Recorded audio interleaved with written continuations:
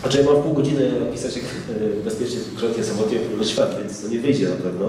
E, ale chciałbym zwrócić e, uwagę na parę aspektów, jak to jest z żeglowaniem na małych jachtach i czy to musi być koniecznie bezpieczne, tak jak się najczęściej wydaje.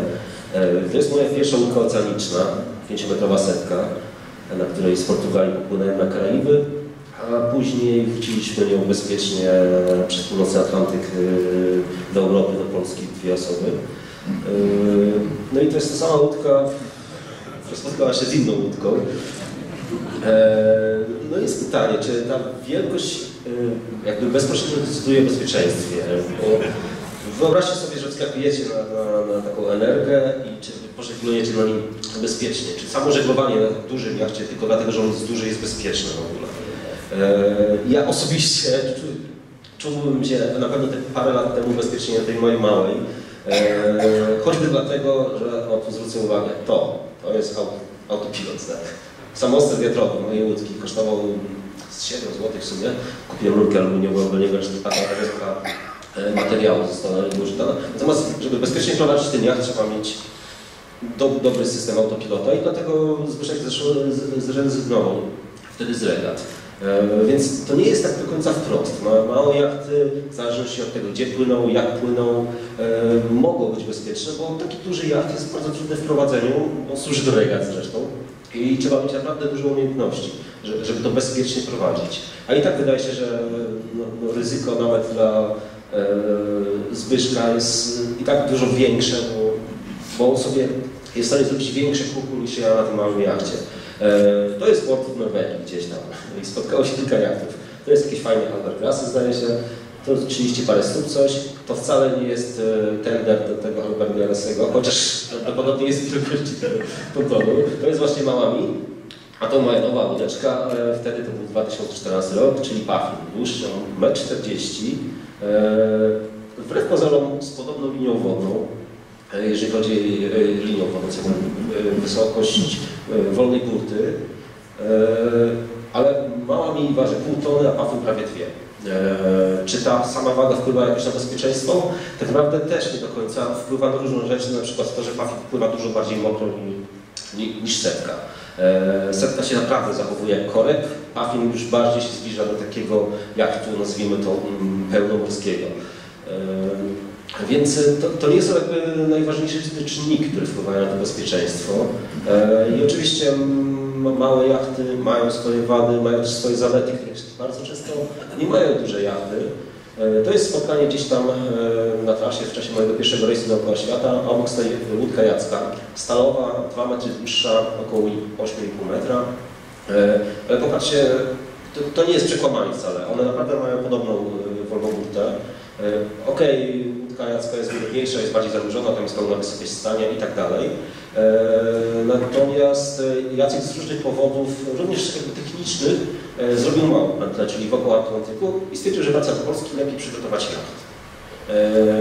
To był jego, jego rejs testowy, tak jak moim rejsem testowym był rejs dziewczyn na Islandię. Ja stwierdziłem, że niech one przetestuję, a jak się okaże, że jak przy jednym kawałku, no to ja wtedy bez wielkiego ryzyka mogę płynąć dalej.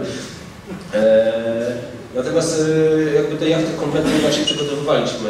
Jest taka pokusa, mm, szczególnie jak się pływa na dużych jachtach, żeby na małe jachty, mm, e, że tak powiem, e, przeforwardować różne rozwiązania z dużych jachtów. Lazy jacki, bimini i tak dalej, bo jest wygodniej, bo to poprawia nasz komfort. Tylko problem jest to, że małe jachty najczęściej dużo gorzej to znoszą. E, No wady małe jachty, to jest wnętrze Pafina. E, Przestrzeń życiowa, w tej chwili mocno zawalona jeszcze rzeczami, to jest 2 na 2 mniej więcej. Tu jest jedna koja, tu jest druga koja, można spać też na podłodze i tu jest kuchenka jednoplemnikowa. Nie ma żadnych innych instalacji poza instalacją elektryczną, kuchenka jest na małe kartusze. Więc nie mam problemów e, z, z wyciekami gazu, sprawdzaniem instalacji gazowej. Nie, nie mam różnych rozwiązań, które są na dużych jachtach, a które zawsze są jakimś tam problemem. Przestrzeń życiowa jest bardzo ograniczona i to są, e, to wpływa na, na, na codzienność. E, Po pierwsze, no, mamy pewne ograniczenia związane z tym, że łódka waży ile waży ma miejsca ile ma. Więc e, pewnych rzeczy nie możemy wrzucić tylko dlatego, że jesteśmy do nich przyzwyczajeni, że poprawiają komfort życia, bo to wszystko waży. I to najczęściej waży nie tam, gdzie powinno, czyli, czyli grubo powyżej linii wodnej. Ja, ja nie jestem inżynierem, więc pewne uproszczenia, które mogą razić, za nie przepraszam od razu, ale mam nadzieję, że dla większości są zrozumiałe, jeżeli chodzi o takie rzeczy jak KLW i tak dalej. Więc musiałem zrezygnować z wielu rzeczy. Tak jak mówiłem, nie mam tam w środku praktycznie nic. To jest łódka zaraz po zbudowaniu, ona tak wyglądała. Tu jest moja cała instalacja elektryczna, znaczy są punkty świetne jeszcze, dwie koje, z tyłu koja pod kokpitem, która robi za magazynek w czasie płynięcia, ta kuchenka jeszcze nie skończona i tu zaraz nawiążę do czegoś. I to jest wszystko, co jest na tym jachcie. Tutaj, o, w tym miejscu, jak człowiek sobie rozbije głowę, siadamy, klinujemy się między dwoma kojami, a tu dokładnie, już później, e, została zamontowana osłona e, kuchenki z wypolerowanym my sobie siedzimy bezpiecznie na, pokładzie, e, na, podłodze, mamy dwie wolne ręce i lusterko. To jest a propos szycia sobie głowy. Mnie to nigdy nie spotkało, nie musiałem, natomiast patrząc na przygody kolegów stwierdziłem, że jakoś do tego się muszę przygotować. Druga sprawa, na tym jachcie nie ma zbędnych rzeczy. Jednym z cięższych elementów, który jest wysoko, to jest UKF tak naprawdę. Wszystko, co się dało, było montowane jak najniżej. Starałem się też, żeby nie było za dużo przestrzeni na niechcące trochę ładowanie ciężkich rzeczy do góry. Czyli nie ma za dużo półeczek na burtach, żeby nie podwyższać jakby te, tego, jakby, żeby te wszystkie ciężary były maksymalnie nisko, żeby nawet nie kusiło, żeby coś tam zrobić, oczywiście się da, przecież wszystko można podwieścić i tak dalej. Jakby główne wady związane z małym jachtem to jest przede wszystkim ten brak komfortu i te ograniczenia bytowe. I nie ma zmywaka. Na moich jachtach w ogóle nie ma kartany, bo to zajmuje miejsce. Do tego też ważę. W ogóle jest problem z bezpiecznym, sensownym miejscem na znalezienie kuchenki, bo ona zawsze jakoś gdzieś tam będzie przeszkadzać. Na, na, najwygodniej teoretycznie byłoby ją wsadzić przed killers. Wtedy nie przeszkadza codziennym życiu, tylko nie da się z tego korzystać z kolei. Nie ma też lodówki czy piekarnika, no ale to jest kwestia do czego na ten jacht tak naprawdę jest. No ale w moim przypadku no, to miała być kilka do oceanicznego pływania. Bez lodówki da się żyć. Nie pijam alkoholu na wodzie w sumie jedyne, czego mi brakuje z lodówki, to jest faktycznie od czasu do czasu zimne piwko. E, ale przeżyję bez lodów, choć słabo, natomiast okazuje się, że piekarnik można zastąpić. E, zlewozmywak na łódce, y, która do kuchenki ma 2 metry od zejściówki. Naprawdę nie jest niezbędne. Blisko zejściówki stoi wiaderko i tyle. Wszystkie naczynia i tak lądowały e, prędzej czy później w kokpicie do mycia. E, więc nie jest niezbędny, e, a z kolei wynikają z tego pewne zalety, o których później. No są inne problemy na, na małym jachcie, szczególnie na moim. To jest mała kubatura, słaba izolacja jachtu, bo walczyłem o wagę. E, więc to jest goły laminat. E, Kadłub nie jest przypadkowy nawet, więc e, tam nie ma żadnej wykładziny, żadnej izolacji, goły kilometrowy laminat, więc tam na południu zobaczyłem, co to znaczy wilgoć w kabinie, naprawdę, co to jest kondensacja pary wodnej. To nie krople spływające po, bur po burcach, tylko od wewnątrz, tylko naprawdę się lała woda. Więc to jest problem małych jachtów, to jest bardzo duża wilgotność w środku. No i tak, to jest to jest zapasowy, czyli cegła szamotowa, e, która trochę podgrzewała, podgrzewała e, wnętrze, natomiast problem jest to, że na jachcie jedynym źródłem ciepła był palnik gazowy, który jest no, mm, słabym podgrzewaczem, bo przy spalaniu wydziela się dodatkowa wilgoć. Więc starałem się tego używać jak najmniej i cegła tutaj to jakby troszkę kompensowała. Nie ma toalety i Okej, okay, jest to jakiś problem, natomiast też z doświadczenia wiem, że nawet na łódkach większych, choćby 9-metrowych, ludzie często, szczególnie w samotnych rejsach, nie korzystają same z toalety, bo to są zawory, bo to trzeba pilnować, czyścić i tak dalej, że najlepsze z jest wiaderko. Eee, słaba wentylacja w kabinie. Tu ze względów jakby bezpieczeństwa na moim jaście w ogóle nie było luku tak, takiego dziewowego, więc ten przewiew przez kabinę był bardzo słaby. Było kilka e, punktów wentylacyjnych, które można było szczelnie zamknąć. E, do tego jeszcze bardzo mała zejściówka, która była po prostu lukiem, e, a nie typową zejściówką ze szczątklapą i syfklapą, e, więc jest to duży problem na małym jachcie, takim, który faktycznie gdzieś tam płynie w trudniejsze rejony i no, zabezpiecza się na wszelkie możliwe sposoby przed zalaniem. No i coś, o czym często się nie pamięta, to jest czasem przymus spania na nawietrznej koni. To jest mały jacht, te 70-80 kg ma znaczenie, gdzie siedzi, gdzie leży i tak dalej. Więc jak mocniej wieje, obowiązkowo śpi się zasadniczo na nawietrznej koli, bo spanie na zawietrze powoduje to, że łódka e, łapie jakby większe przechyły chwilowe na fali, e, co powoduje też, że na przykład autopilot dużo, ma dużo trudniejszą pracę, bo łódka próbuje ostrzyć i tak dalej. Więc tak naprawdę przez, przez cały okres pływania balastuje się. Czasem to jest przymus spania na nawietrznej, a czasem wprost przeciwnie, jak nic nie wieje, to na siłę trzeba spać na, na. No tyle, że, e, że jest to przyjemniejsze. Natomiast no, spanie na wietrznej powoduje to, że przez całe miesiące zdarzało mi się, e, że tak naprawdę mm, śpi się, na, ja mam, nie mam e, sztorm deski, tylko sztorm, sztorm rurę i to jest mało wygodne, bo cały czas tak naprawdę bark leży na tym. Natomiast to jest tylko 8 godzin dziennie, więc da się żyć. Blisko jest zejściówki, to o czym mówiłem. Niestety na małym jachcie z tej zejściówki jest wszędzie blisko do kluczowych miejsc, na przykład e, również e, moja kuchenka, taka zwyczajna turystyczna kuchenka e, ma ten problem, że no, raz na rok, raz na dwa lata trzeba ją wymienić, bo po prostu zardzewiała, bo tam jest wszędzie wilgotne, słone powietrze. Na Bałtyku tego problemu nie znamy, no bo sam Bałtyk jest mało słony, ale na oceanie sól w powietrzu jest bardzo dużym problemem. No i ta sól ma dostęp do różnych rzeczy również do elektryki, która musi być wysokiej jakości, żeby dawała radę. E, I to jest, okazuje się, problem mm, na przykład nie tylko tego, że na komputer jest tani, jest mało odporny na, na, na, na jakieś warunki, ale tylko zwykłych złącz e, w tym komputerze i nieważne, czy komputer kosztował 800 zł czy 4000, złącza USB robią dokładnie tak samo od samego słonego powietrza. E, więc czasem nie warto przepłacać, jeżeli chodzi o takie sprzęty. No i to, co mówiłem o małej ilości miejsca, to jest pod samą zejściówką w zasadzie, tylko z boku, miejsce na rzeczy podręczne. Tam niestety wylądowało wiadro z 20 kg czekolady, przez co od czasu do czasu, bo pokrywka była niedopasowana, mm, dolatywały te jakieś słone bryzgi i czekolada zaczęła się psuć. No i to mnie zmusiło do tego, żebym jadł szybciej po prostu, żeby... Czekolada skończyła się, skończył mi się Atlantyk. Nie wiem ile to ważyło, wiem, że wiadro było 20 litrowe. E, tutaj jest woda, to jest taki mm, początek rejsu tak naprawdę, no czekolada jeszcze nie ruszona. E, normalnie zazwyczaj w tym miejscu był przywiązany jeden albo dwa baniaki z wodą.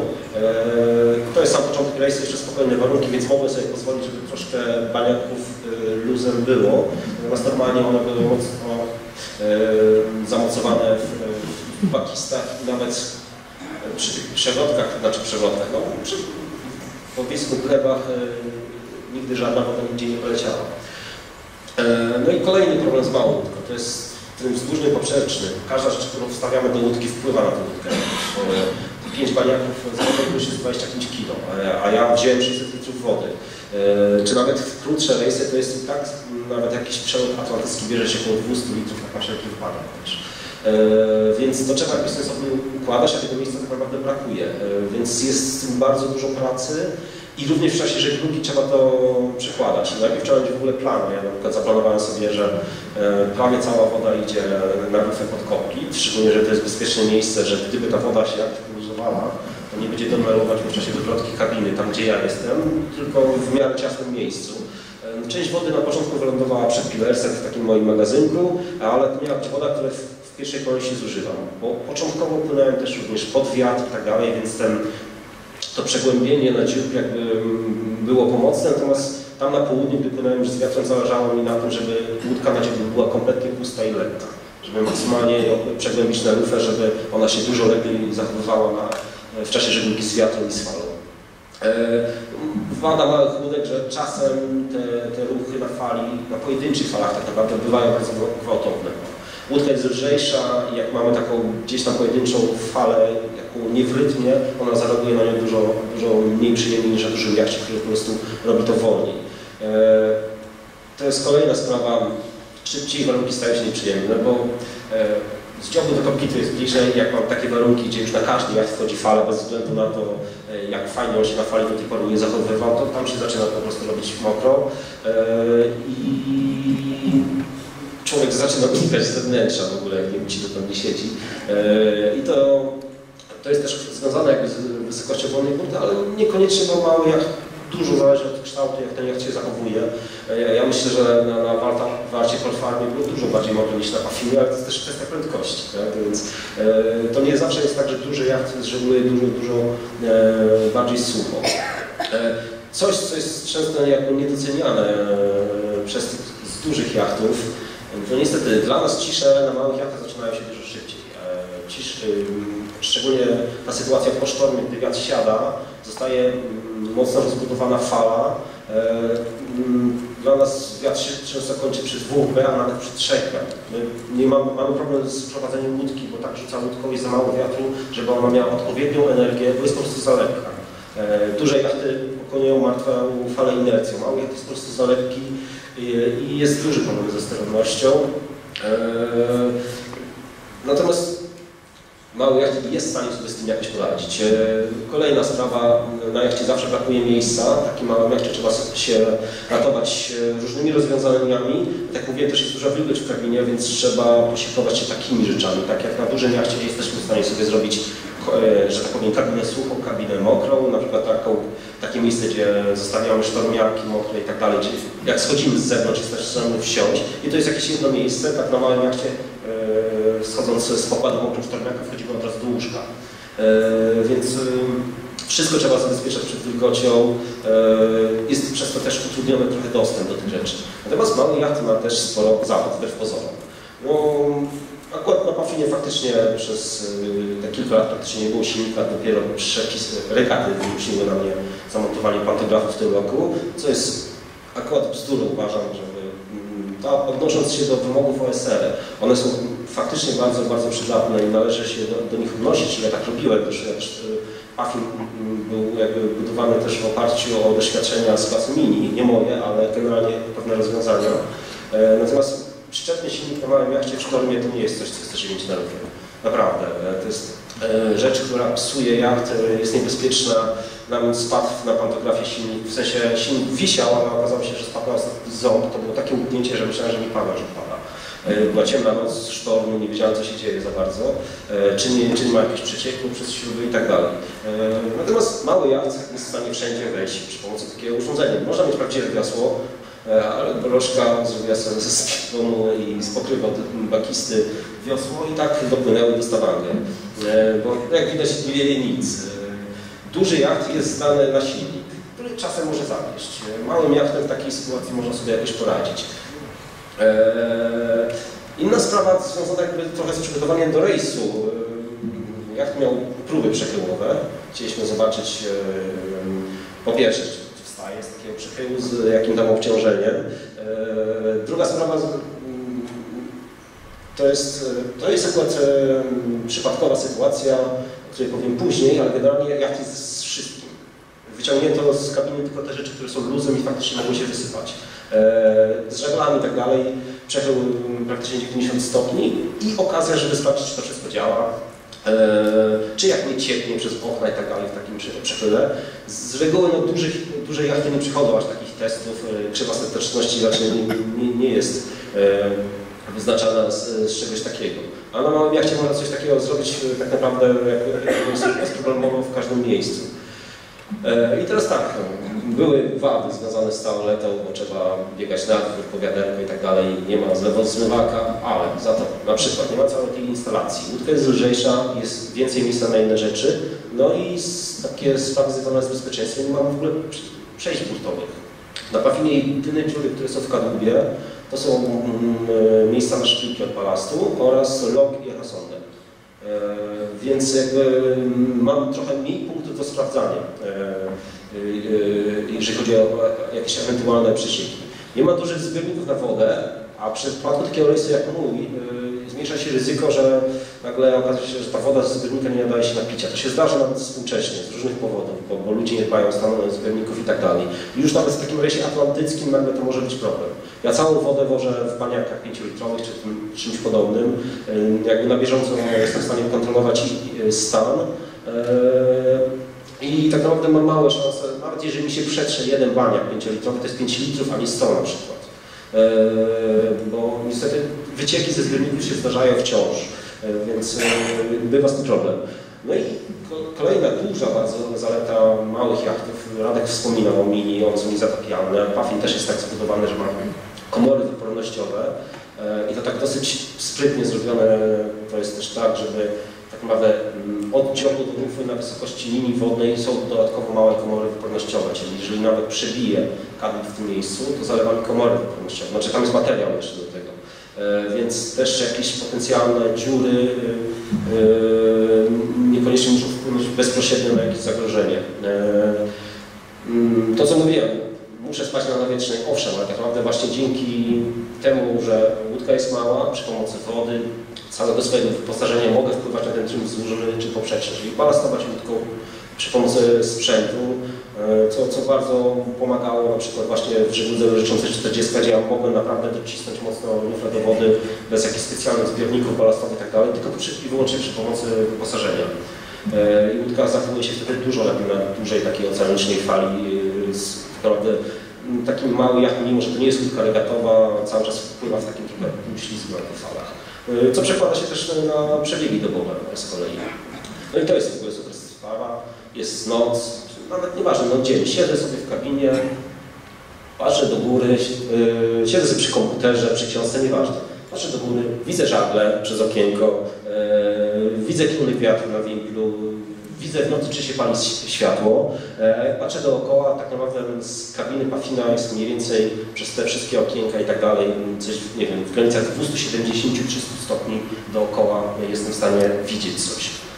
Nie wychodząc z kabiny. E, I w przypadku szczególnie trudnych rejsów, ale czy jeżeli w trudnych warunkach, to jest naprawdę nie do przecenienia, bo wychodzenie za każdym razem z kabiny, choćby nawet w czasie sztormu, to jest za każdym razem otworzenie luku. Po co mam szczelny luk, żeby łódka była szczelna w tych trudnych warunkach, że gdyby doszło do jakiejś sytuacji wywrotkowej, żeby tej łódki nie zalało. Dwa, no chodzi o to, żeby jak nie musisz, nie tym dworzu, na tym zewnętrzach yy, za dużo czasu, bo tak jak mówię, później wchodzisz w okno sztormiaku, jesteś bardziej zmęczony, wszystko jest dookoła mokre, generalnie jest nieprzyjemne.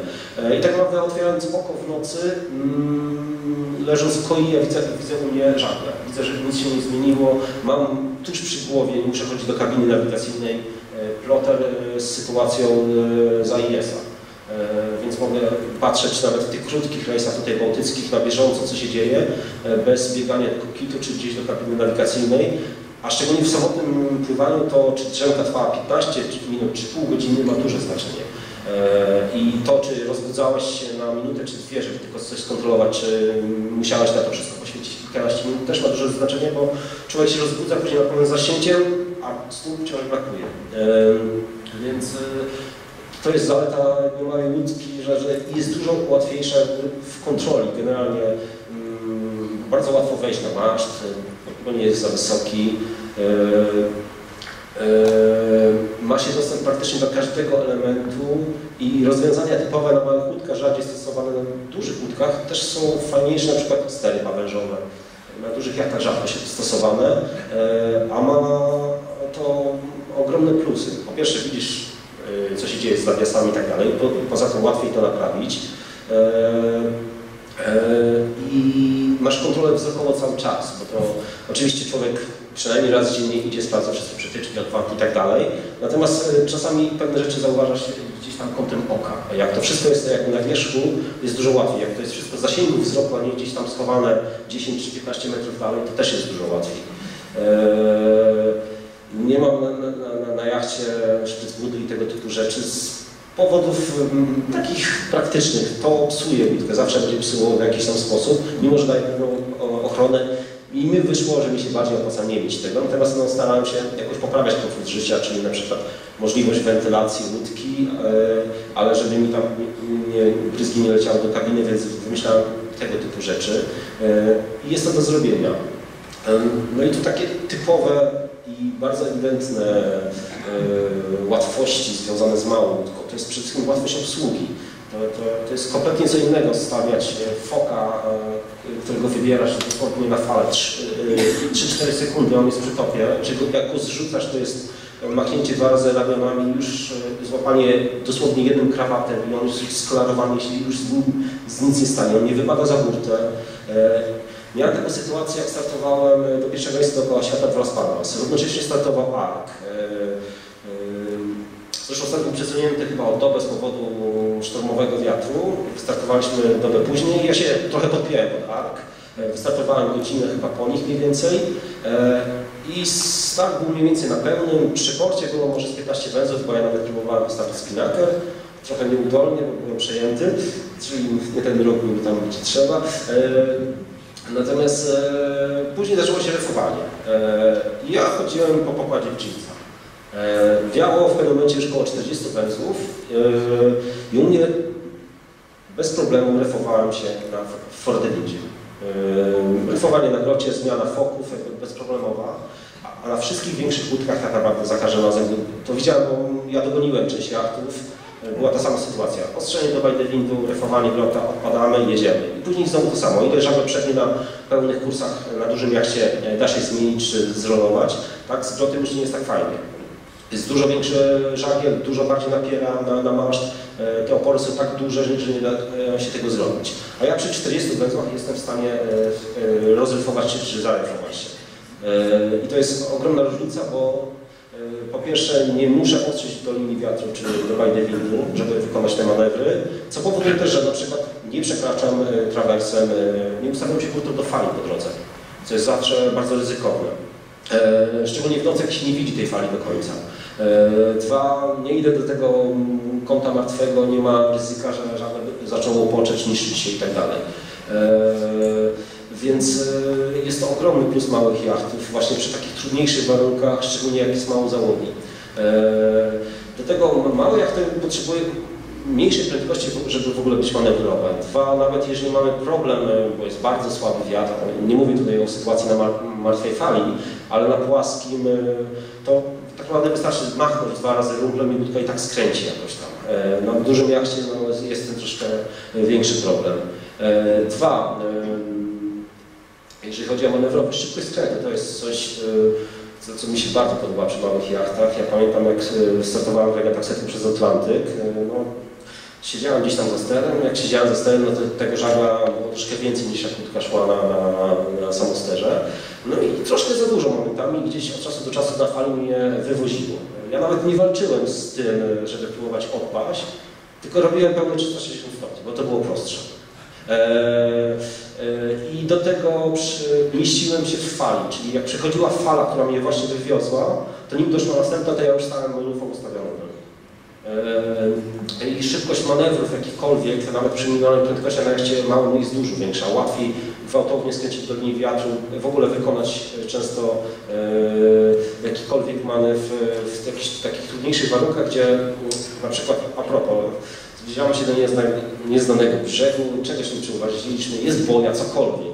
Dużo łatwiej, łatwiej uniknąć kolizji małym jachtem niż dużym jachtem.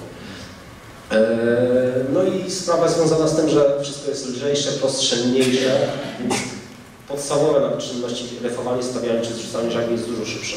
Eee, nie trzeba używać kabestanu do postawienia żagli, eee, ewentualnie do, dociągamy falę na tych kabestanach. Ja na stacji w ogóle nie miałem kabestany de facto żagli się po prostu wciągało na maszt, a lik przedni napinało się przy pomocy halsu, eee, który był sprowadzany do szybkiego.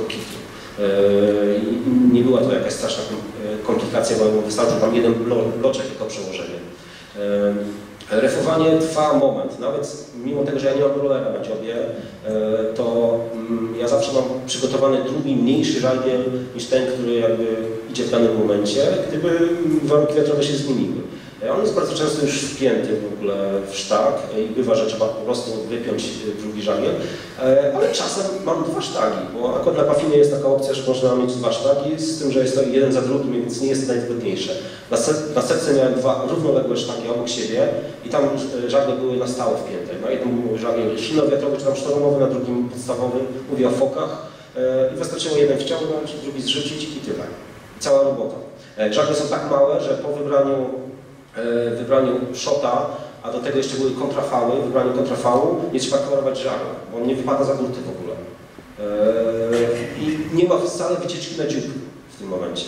E, poruszanie się jest szybsze, no bo na dziób to są dwa kroki, człowiek się nawet nie zdąży zmieścić. Podobnie jest ze zwrotami, szczególnie w, w trudnych warunkach, szczególnie samotnie dużo łatwiej zrobić zwrot przez rufę na małym jachcie niż na dużym, e, bo nawet ten jakiś tam ewentualnie brak kontroli nad grotem nie skutkuje od razu tym, że nam poleci maszt, bo, bo przerzuci nam grota, uderzy w wanty i tak dalej. E, no, no chyba, że mamy tego grota dużo zaburzenia, e, ale jeżeli jesteśmy zarefowani, to nic się specjalnego nie dzieje. Ja zwroty przez rufę w trudnych warunkach robię w ogóle na kontraszocie i on przytrzymuje grota w czasie zwrotu. W ogóle się nie interesuje szotami, nie ma żadnego wybierania, luzowania, jest tylko kontrola kontroszotami, które są na stałe zamocowane na każdym burcie i zwrot przez rufę jest z pozoru bardzo łatwy. No i to, co już mówiłem o kolorowaniu, na pafinie do skolarowania grota są potrzebne całe dwa krawaty, żeby go zawiązać, żeby nam sztorm go nie zabrał. Potem jest skokiem, wystarczy go przewiązać w jednym miejscu i, i można wracać na lufę, tam gdzie, gdzie jest trochę jednak bezpiecznie. I to jest jakby jeden plus. I teraz, bo ja trochę lansuję to, że na małych jachtach można żeglować bezpiecznie z pewnych też powodów, dlatego że no, przez parę lat się trochę zmieniło. Jesteśmy trochę przekonani, że duże jachty są bezpieczne, ale to jest takie trochę przekonanie z dawnych lat. E, bo no, tak naprawdę chyba większość z nas mm, e, ma takie przekonanie, że to sprzęt zapewnia nam bezpieczeństwo. E, oczywiście tak, i są elementy wyposażenia, które na to wpływają. Kiedyś, żeby mieć jakąkolwiek łączność wielkiego zasięgu, trzeba mieć stacje, akumulatory, najczęściej silnik, żeby ładować, czy generator do ładowania tych akumulatorów. No to wszystko trzeba miejsca. No jakby ja sobie nie wyobrażam silnika stacjonarnego na Pafinie, bo zabrałby mi połowę wnętrza tak naprawdę. Jeszcze zbiornik paliwa, instalacja i tak dalej. I na przykład bym kompletnie, że tak powiem, ten mój magazynek kokpitowy, bo tam był silnik. Tylko, że teraz nie potrzeba stacji, żeby mieć łączność dalekiego zasięgu. To jest pudełko trochę większe od smartfona. To jest model satelitarny, kosztujący w granicach 3-4 tysięcy złotych. Pozwalający ściągać pliki, to jest najważniejsze. Czyli ja mogę przy pomocy tego ściągać na pokład bezpośrednio gripy. Do tego jest potrzebny smartfon albo tablet i to jest cały sprzęt.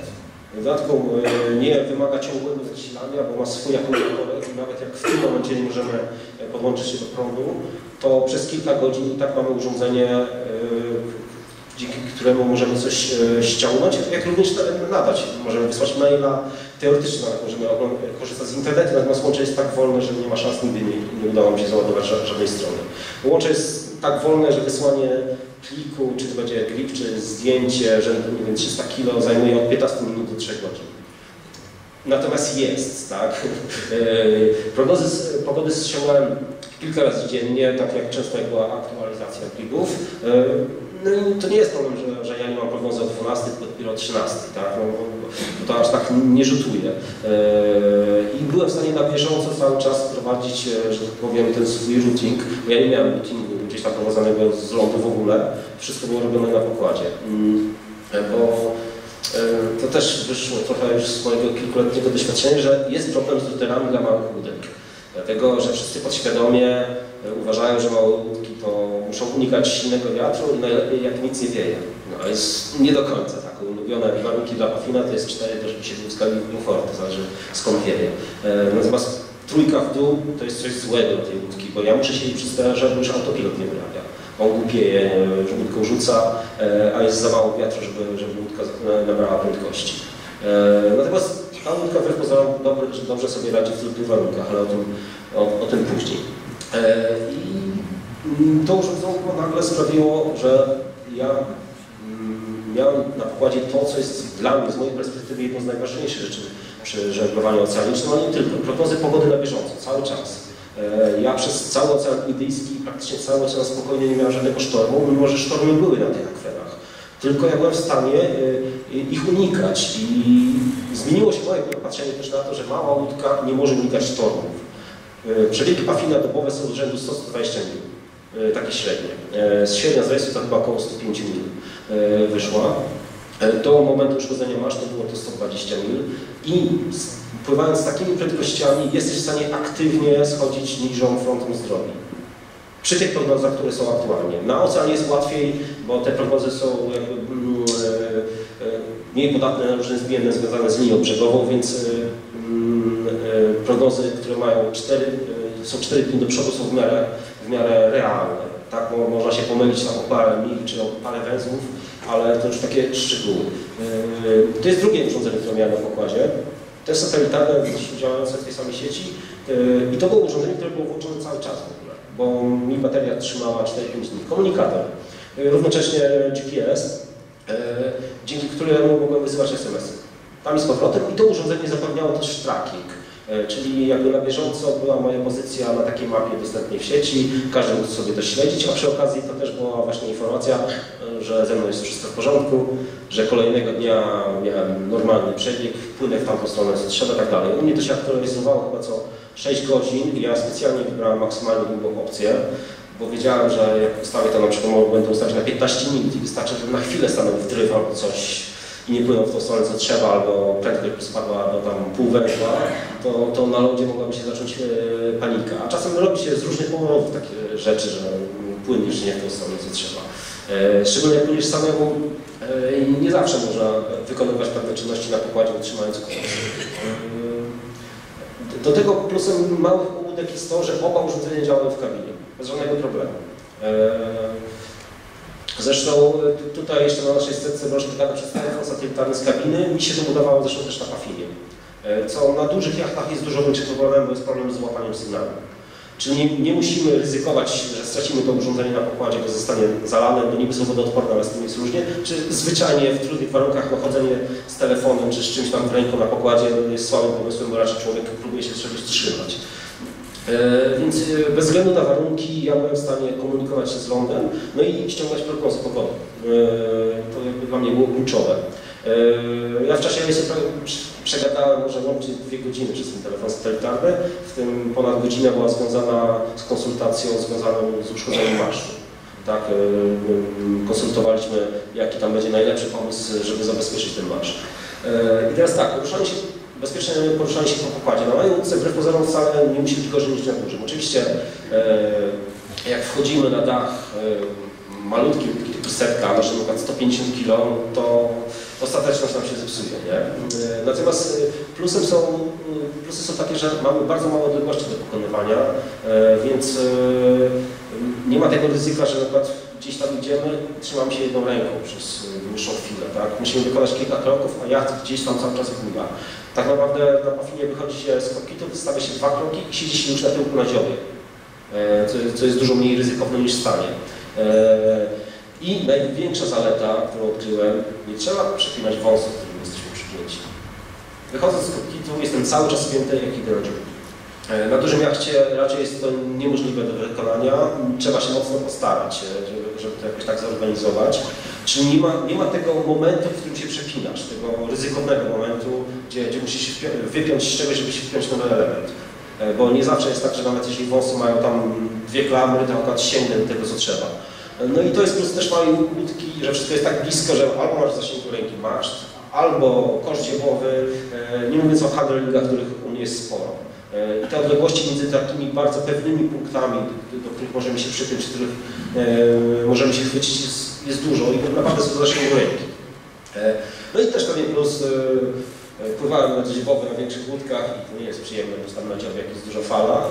Małotko oczywiście też wyskakuje w, w górę i spada, natomiast z powodu tej masy ta jej bezwładność jest dużo mniejsza, wysokości są po prostu mniejsze. E, one i tak e, nie są przyjemne, natomiast e, no, jakiś taki, nie wiem, kilkunasto czy kilkumetrowy lot, jak się spada z fali, raczej na małym jest mało wykonalny. No, tu, tu, jest przykład, na przykład rozwiązanie na Pafinie, to jest handel centralno-dziełowy, tu, tu jest już maszt, a tu już jest kość Więc mam pewne punkty podchwytania się do, do tego, ten handelnik równocześnie jest dodatkowym sztagownikiem. Do niego wpinają sobie baby foka, bez sztagu baby fok był zwijany, miał wszytą linę antyskiepną. Nie miał typowego rollera, tylko zwijacz. Eee, więc e, do tego na mojej łódce ja stosuję coś, co podejrzałem w klasach regatowych, akurat remix demy, które mają pewne plusy wbrew pozorom, teoretycznie są bardziej podatne na uszkodzenia, w praktyce polega to na kontroli tego. Mi się, ja mam wciąż te same, łódka ma 5 lat, a tam są wciąż te same railingi, bo się nic kompletnie z tym nie dzieje. E, natomiast jeżeli mm, na przykład w ciepłych szerokościach zdarza nam się, że musimy wyjść z łódki z jakiegoś powodu do wody, czy zwyczajnie jesteśmy rozebrani, robimy coś na dziobie. O stalówkę bardzo łatwo się przetrzeć, zrobić sobie krzywdę i to są dosyć takie nieprzyjemne odtarcia, które w ciepłym klimacie słabo się goją. Natomiast no, to nie robi w ogóle.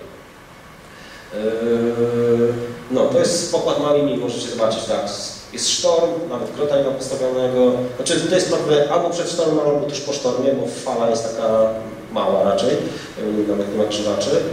Postawiony jest fok sztormowy na jednym ze sztanów, na drugim jest marszowy, który jest wraca wyjęty szotem. I to naprawdę było bezproblemowe. Ten żagiel nie wpada w ogóle do wody, nie ma szans, żeby go woda jakoś specjalnie chwyciła. Więc wcale nie trzeba biegać tam na kilku, wbrew pozorom, mimo że nie ma rollera. No a rollery mają swoje wady, szczególnie w takich rejsach zawsze się mogą zepsuć i robią kłopoty. Dlatego no, jakby zrezygnowałem z tego, do tego psują stateczność, bo to wszystko waży i tak dalej. E, więc skoro nie musiałem ich używać, to nie korzystałem. E, to co już mówiłem, dużo łatwiej jest kontrolować małą łódkę, jeżeli chodzi o ten stan, e, bo to ja na przykład ściągam jedną podłogę i widzę wszystkie szpilki. Więc jestem w stanie sprawdzić mocowanie balastu, bardzo łatwo sprawdzić taki kierunek. Również to, co się dzieje u góry, bo naprawdę jestem w stanie przez jakąś rolnetkę, czy nawet, już nie mówiąc o tym, że to, co się dzieje przy salinie, to widzę po prostu normalnie z pokładu, bo to nie są duże wysokości, odległości. E, więc jest to bezproblemowe. Mniejsze siły, więc są postrzelone i w ogóle nie ma kabestanu, bo nie ma takiej potrzeby. E, szoty nawet na pafinie da się wybrać z ręki. Kabestany owszem są, ale nie są niezbędne. E, nie trzeba skomplikować urządzeń sterowych, gdzie jest jakieś przełożenie siły, więc jest to prostsze, lżejsze, łatwiej to naprawić. Mamy mniejsze żagle, więc nie trzeba jak Lazy Jack. Ja nie mam lazy jacków, a nigdy nie miałem kłopotu z refowaniem czy czymkolwiek, bo ten żagiel, nie ma za dużo żagla, który gdzieś tam zwisał. Ja sobie spokojnie refuję, a jak będę miał chwilę, to sobie podwiążę to, co tam wisi. I, i to jest wszystko. Nie, nie, musi, nie, nie muszę stosować lazy jacka, bo lazy jacki nauce, silnika, jest przeszkadzajką, bo ciężko postawić e, czy e, żagiel na kursach pełnych są. Teoretycznie mogę zrobić, natomiast jak będę miał lazy jacki, to ten list odwrota zaczął włazić po te linki, to się zacznie haczyć. E, generalnie jest lżejszy ospęd i tak dalej. E, ja na przykład w ogóle na Pawinie jeszcze do niedawna nie miałem ani jednej pakisty na pokładzie, wszystko to były komory wypornościowe. E, no, dzięki temu też nie miałem jakichś takich, nazwijmy to pojemników na wodę, gdy fala się tam dostała, więc łódka się nie robi cieszy, nie psuje stateczności. W czasie wywrotki nie, nie, nie weszłaby tam woda.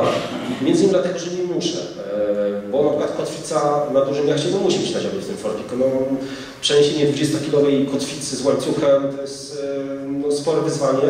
Szczególnie, że może się okazać, że kotwica w sytuacji awaryjnej niekoniecznie w dobrych warunkach jest potrzebna. Tak? I to nie będą fajne warunki, że sobie wciągnę ją i spokojnie przeniosę. Ja kotwicę trzymam w kabinie, bo jest w siatce takiej z Ikei, e, razem z łańcuchem i po prostu jak trzeba to wynoszę na pokład. E, Szymonie, przepraszam, dostałem jeszcze 5 minut, żeby skończyć. Eee... Państwo się zgadzają, tak? A tak, jeden największy plus chyba to jest mniejsze ryzyko poważnych uszkodzeń w przypadku zdarzenia z parkami śmieciami. Ja uderzeń w różne śmieci, duże, mniejsze, ciężko mi powiedzieć co to było. Pamiętam kłody drewna, e, była masa śmieci, których nie widziałem, nie wiem co to było, była noc na przykład. E, nic się nigdy nic nie stało. E, pod Tasmanią płynęłem ponad, z prędkością ponad 6 węzłów względem wody, łódkę obróciło o 180 stopni. Byłem przekonany, że złamałem ster, a okazało się, że nie i ten ster pływa do tej pory. E, to jest kwestia masy, tak? Mała łódka, jak wrąbie się w kontener, to się odbije od tego konteneru i tyle, e, bo to jest wyhamowania tona czy dwie tony. E, co innego jacht, który waży 8-10 ton. On, on, jakoś musi wytracić tą energię i być może przez poszycie wytraci tą energię. No, to jest pewna prostota rozwiązań, tak, czyli rurka od spinaka, e, od posaka ma taką samą średnicę jak oś samosteru. Tak to było zaplanowane, żeby pewne rzeczy mogły się e, dublować. To jest samoster mi bardzo skuteczny. E, w czasie 35-dniowego rejsu Karaibów na Azory sterowaliśmy łącznie przez 20 godzin. Całą robotę robił maniek. To jest zapasowy samostek wiatrowy używany w pierwszym rejsie na, na na Pafinie. W praktyce rejsie, mimo że Farkanów płynąłem bez autopilota, znalazłem inny system samosterowności e, przy pomocy Baby Foka, Expandera i linki podpiętej do szatów e, Baby Foka. I łódka była w stanie pływać również na, na kursach pełnych. Tak, e, nim opuściłem Atlantyk, utopiłem wszystkie kordy tego stanu. Talent, nie? E, Co to jest? To jest zwykły ścisk stolarski, takie dwa na pokładzie. Miałem ten po lesie przy też świecie, no po prostu za rdzenia mnie no, dawał się. Ale da się operować nim, e, e, obsłużywały dwa stany. E, Jest masa różnych e, plusów, bo na przykład e, osie steru nie są jakieś specjalnie robione, tylko to jest jakaś ośka 12 mm, więc możemy zastąpić ją nawet śrubą, gdyby się coś stało. E, Tak samo łatwiej jest e, właśnie naprawić coś przy sterze. Ja miałem sześciozapasową płetwę sterową e, i również zapasowe zawiasy, gdyby się coś tam wydarzyło. Na tak małym, tak małej łódce jest to naprawdę fizycznie możliwe, bo ja to sprawdzałem, czy jestem w stanie na morzu zmienić płetwę sterową, gdyby się e, zła- złamała. E, Plusem kolejnym jest to, że na małej łódce można za relatywnie mniejsze pieniądze niż na dużym jachcie mieć naprawdę sprzęt dobrej jakości, na oszczędność znaczy na różnych rzeczach. E, Nie wiem ile kosztuje kotwica Fortnessa na, na duży jacht. Wiem, że za swoją zapłaciłem równowarte 400 zł. Więc e, to są rzeczy, rzeczy, na których można zaoszczędzić.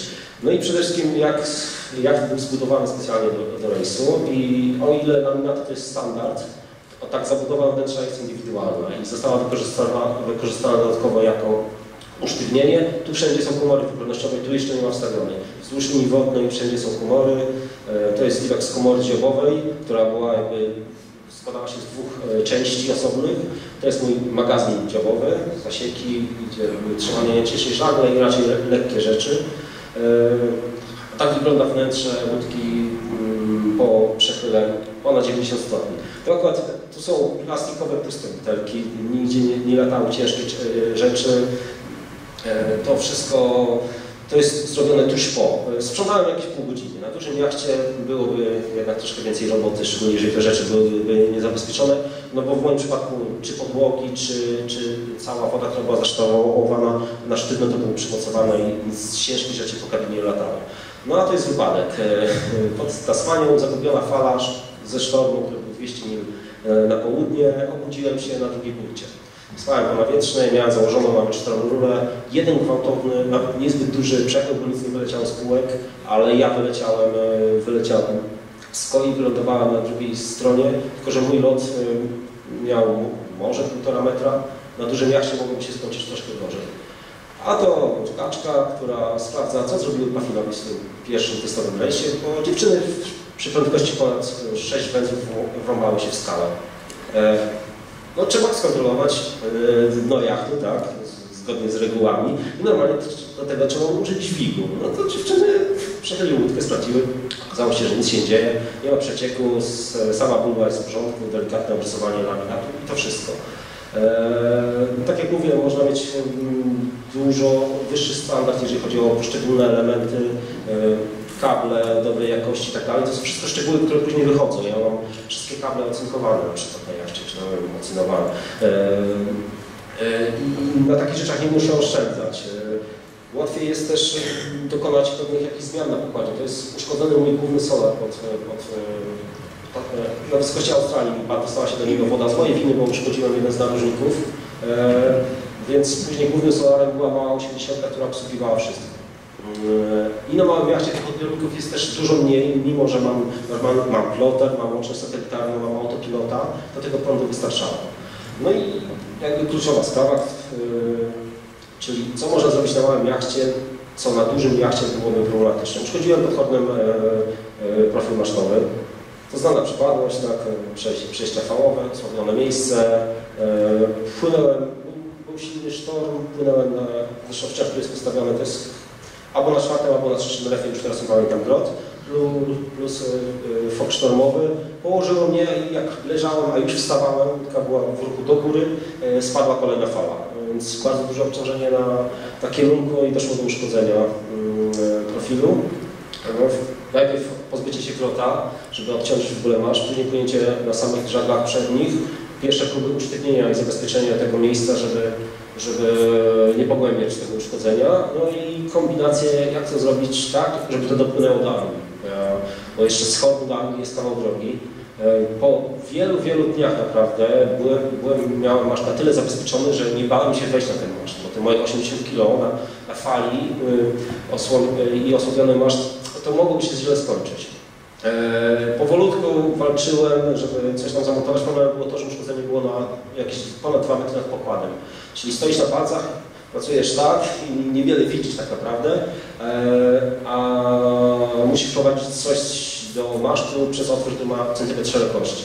E, więc trwało to bardzo powoli. Grota udało mi się postawić na żbijce, e, na, na czwartym refie, żeby choć trochę pomagał wpłynąć, żeby wiatr, a później wykonałem na dolnej części masztu, wylaminowałem nakładkę z laminatu, wgrzałem ją na, na kuchence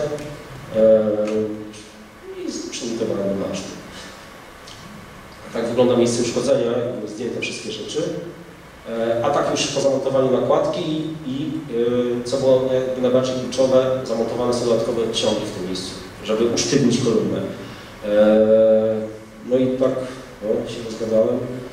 To, to jest trochę tak żartobliwie. Ja, ja nie robię podziału na żeglarstwo regatowe i turystyczne. Dla mnie to jest trochę chore, szczerze mówiąc, mówienie, że ktoś jest regatowcem turystą. Ale chodzi mi bardziej o jakby to, co można wyciągnąć z żeglarstwa regatowego, żeby pływać bezpieczniej. E, o tym już nie będę mówił, bo to nie ma znaczenia, poza tym, że 6,5 metrową e, dogoniła e, większe jachty. Na jachtach regatowych bardzo często są stosowane prostsze systemy, lżejsze i tak dalej. One czasem są może mniej wygodne w takim turystycznym pływaniu, natomiast na pewno są dużo bardziej niezawodne, często bezpieczniejsze. To jest miękka szepna przy szopach, natomiast takiej często zwykłej szepny metalowej, którą po prostu można dostać w głowę, która się może rozkręcić i którą żeby obsłużyć, to trzeba podejść z przekładnikiem albo kombinerkami. To można ściągnąć jedną ręką, a drugą się może trzymać. Eee, z jachtów nie tylko regatowych, to jest patent również z łódek mini, czyli podwójne stery, e, cały system na wierzchu, to nie jest pod kadłubem, jest do tego dostęp. Łódka może nie wygląda najpiękniej przez takie rzeczy, e, natomiast e, ważne jest to, żeby był dostęp do tych wszystkich elementów, żeby można było coś przy tym zrobić. No i jeszcze kwestia tego doświadczenia z regat. E, ludzie jakby świadomie pływający w regatach e, dużo lepiej czują łódkę i rozumieją jakby mechanizmy, które napędzają tę łódkę. E, najczęściej dużo lepiej się refują, w sensie ten żagiel po zarefowaniu nie, nie wygląda jak worek, tylko jest jakby strymowany do, do, do, do warunków. Są sprawniejsi na pokładzie, wszystkie manewry wykonują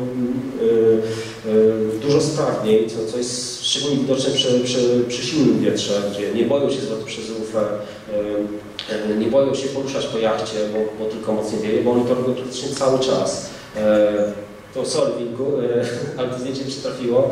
Tu można zobaczyć, to jest zdjęcie z regat. E, jest jedna łódka, akurat moja. Popatrzcie, to jest łódka duża, to jest łódka mała. Tak, jest zarefowana odpowiednio do warunków, tu ukrotnie pracuje, bo nie może. Ta łódka ma większy przechył niż ta łódka. To jest 30-parostopowy first. E, I, I, to już takie bardziej osobiste. Zobaczcie, to jest mała łódka, to jest duża łódka. Tutaj nie ma linii startu, to jest daleko za startem i ten duży jacht jest z tyłu. Powinien być z przodu. E, dlaczego? Bo nie jest, e, nie jest jakby przygotowany do warunków. A regatowcy mają dużo lepsze wyczucie, jeżeli chodzi o, o wiatr, o, o to, jak, jak ustawić łódkę do danych warunków. Oni chcą płynąć szybko, E, co nie znaczy, że pływa się z maksymalnym przechyłem i tak dalej. Tak? E, łódka musi być ustawiona optymalnie, żeby płynęła skutecznie. E, więc tam naprawdę w czasie nawet regat, jeżeli nawet podchodzimy do tego nie na zasadzie, że walczymy o pierwsze miejsce, można się naprawdę nauczyć bardzo dużo. Szczególnie, że pływają jachty obok siebie i widzimy, co robią inni. Więc regaty są doskonałą szkołą, taką przygotowującą również do, do, do żeglarstwa.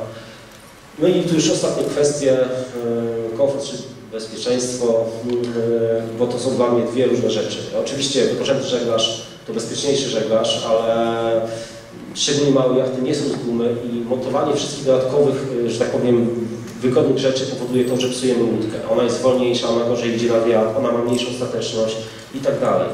E, dlatego no, trzeba to wszystko robić z umiarem. To jest nasze zdjęcie z regat B8. E, te ukończyły trzy jachty, wystartowało kilkanaście, to jest najmniejszy jacht, który wystartował. E, I to jest załoga bez wielkiego doświadczenia morskiego, tu z przodu siedzi. Ten akurat coś tam umie, jeżeli chodzi o morskie pływanie, ci z kolei umieją szybko pływać, naprawdę. E, I dla nich nie było problemu w tych warunkach ładnie zarefować grota. Oni nie mieli problemu z tym, że siedzą po ileś godzin na, na punkcie, mimo że są paskudne warunki, płyną 6-metrową łódką, a ci, którzy byli na B8 widzieli jaka była fala. I no, tak naprawdę ciężko to opisać. Do tego... Aha. Dobrze. Aha, to jest takie. Tak. Najważniejszy element na jachcie to jest załoga, bo ładujemy pieniądze w sprzęt, staramy się, żeby ten sprzęt zapewniał nam jak największe bezpieczeństwo, a bardzo często zwyczajnie sami nie jesteśmy przygotowani. I zarówno pod względem merytorycznym, jak i niestety kondycyjnym, bo trzeba pamiętać, że morze od czasu do czasu wymaga dobrej kondycji, szczególnie gdy są trudne warunki. Powinniśmy być sprawni, nie męczyć się za szybko, być odporni na zimno, mokro i tak dalej. I ludzie, którzy jakby prowadzą aktywny tryb życia, bardzo często na pokładzie, nawet nie mając doświadczenia, zachowują się lepiej niż żeglarze, którzy no, pływają dość pasywnie, że tak powiem. I okej, okay, mają czasem tysiące dni na pokładzie, natomiast, natomiast nie, nie mają, że tak powiem, jakiejś takiej woli walki. Yy, tak, tutaj jest odpoczynek, tak? to jest regeneracja właśnie, przecież to Jestem przypięty life tu w koi yy, leży sobie broszka i robi zdjęcia. Yy, łódka płynie w tym momencie sama. Yy, natomiast dla mnie faktycznie takie leżenie na podłodze było regeneracją jakoś, zawsze to lepiej niż na pokładzie.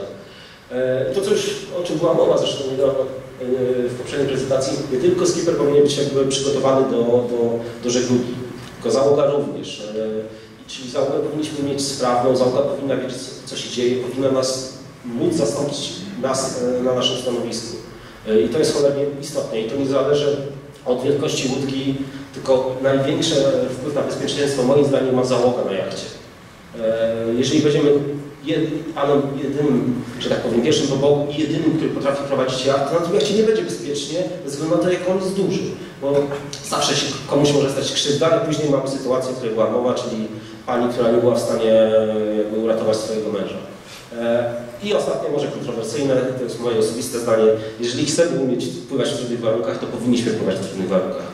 Unikanie za wszelką cenę nawet silnego wiatru powoduje to, że nie zbieramy żadnego doświadczenia. Ja nie mówię, że chodzi, żeby od razu wsiąść na beza dwójkę i ruszyć na, na, na Bałtyk bez przygotowania i osobistego i łódki, ale fajnie popłynąć z doświadczonym e, sternikiem na jego sprawdzonej łódce na przykład, żeby zobaczyć, jak on rozwiązuje sprawy i technicznie związane z jachtem i z prowadzeniem jachtu w takich warunkach. E, musimy zbierać to doświadczenie, bo kiedyś, prędzej czy później jakiś sztorm może nas do, dorwać i bez tego wcześniejszego doświadczenia będzie nam po prostu bardzo, bardzo trudno. Także mimo wszystko starajmy się, żeby, yy, od czasu do czasu popływać, żeby nie okazało się, że sztorm 8 skali Beauforta to jest koniec świata, bo, bo nie powinien. Dobra, sprawna łódka i dobra, sprawna załoga z takimi warunkami doskonale sobie radzi, poza tym, że jest nieprzyjemnie. Bardzo dziękuję.